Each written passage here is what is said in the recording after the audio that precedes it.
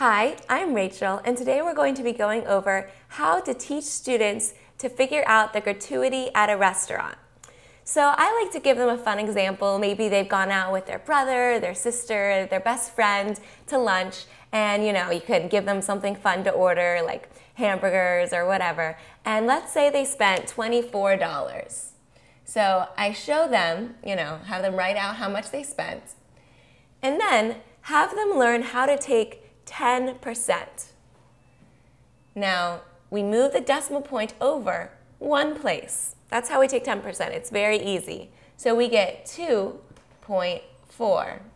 Now, 10% is a bit too low for a tip. We want to go between the range of 20%, let's say, for a really good tip, good service, to 15% for not so great service.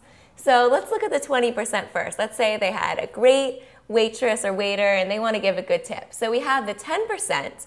Well, to find 20%, we just double it. 10% plus 10% is 20%. So for the 20%, we do 2.4 plus 2.4, and we get 4.8. Then we just add that back to 24. 24 plus 4.8. Have them line it up so they don't make any mistakes. It's very important. And then we end up getting $28.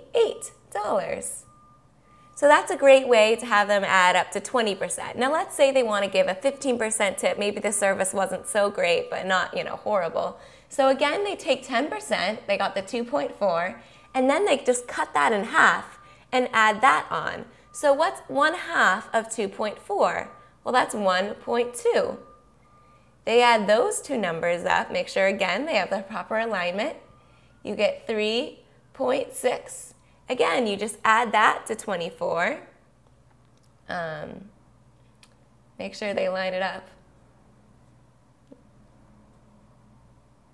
And they get 27.60, and that would be a 15% tip. I'm Rachel, and thanks for learning with us today.